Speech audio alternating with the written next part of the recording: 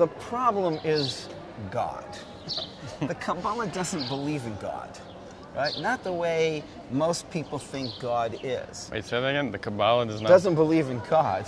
The word G-O-D suggests for people a personality, some guy in the sky somewhere over there looking down at us. Right. And that's not what the Kabbalah describes as God, and that's not even what the Torah describes as God. The truth is, if you open up the Torah, you won't see the word God, because the Torah is written in Hebrew. And, and the word that has been translated as God is the Yud, the Hey, the Vav, the Hey. Right. The question is, what does that word really mean? Okay? Was, is, and will be. Right. But it also means Havaya, which means existence. In other words, that word is pointing to ultimate timeless existence, the source of all being.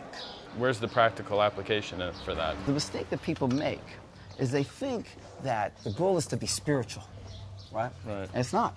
Right? The goal- Everybody says that. Right. They think the goal is to be spiritual. Yeah. But actually, they think that we're going to take the material and spiritualize it. Right. The Kabbalah teaches that our goal is to take the spiritual and materialize it. What do you mean by that? In other words, love. Love is very spiritual, love is very abstract. My job is to take love and turn it into a hug. I just brought this abstract love into the world with a hug. Isn't- Kindness. But isn't love a feeling? Uh, love is more than a feeling, it's also a feeling. That would be it becoming more concretized. Love is an abstract energy, power, okay? The question is, how does love become manifest in this world?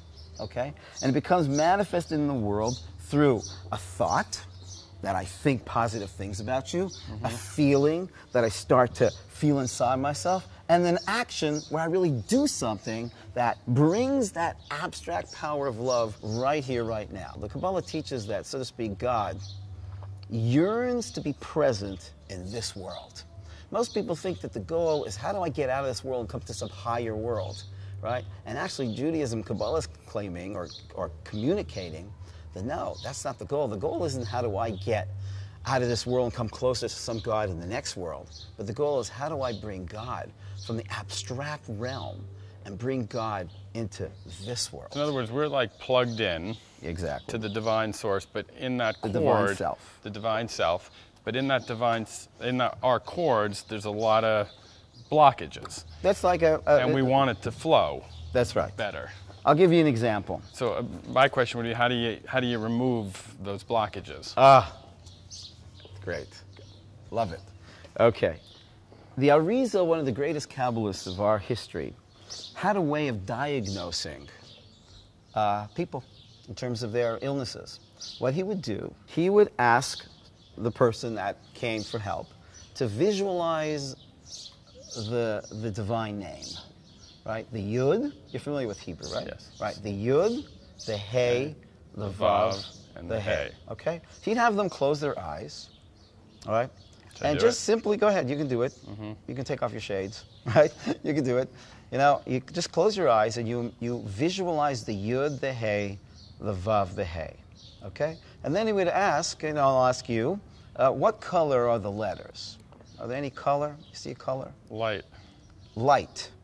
Okay. White, did you say, or light? light, Light. And what color is the background? Darker than the light. Right. Is there, but are they any more than a color, or they're just brighter and, and less brighter? Brighter and less brighter. Okay.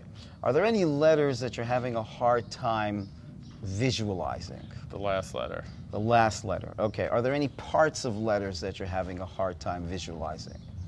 The, the first yud and the hey I see completely. Then the the vav and the hey go in and out. Oy, oy, oy. I'm just joking. okay. I have a lot So- of blockages. so the Arizal, based on your ability to visualize the name of God, could then tell you what it is, right, that you're not doing in your life. In terms of how do we personally deal with that, mm-hmm. we can only deal with that in a general way, right? And that general way is getting in touch with what is it that you're having the most challenges in in terms of ethical um, and in terms of spiritual awakening. For instance, our sages teach us that, you know, there's something called the Yetzer Hara, the inclination, the evil inclination. The mistake is that people think it's an evil inclination when it's not evil. It's just an inclination that encourages you to do evil, but in itself it's not evil. It's just creating the opportunity to make choices. Right. But whatever it is that that inclination most um, uh, addresses, that's what you need to be working on. In other words, if you have a person and they're really struggling with kindness, that means they came into this world to reveal kindness. What divine attribute, going back to what good are you, it's what you're the worst at. But Right. spiritually, morally, not in terms of like, uh, Right. hey, I'd like to work on my humor, maybe I should be funnier. It's kind of counterintuitive because you think of what your positive traits are the ones that are here helping the world. But you're saying Uh, it's just the opposite. No, no. It, it, the, your positive traits are important. Okay. Your positive traits is what you're going to do for the world. Your negative trait is what you have to do for yourself, which in turn is going to help the world. Okay.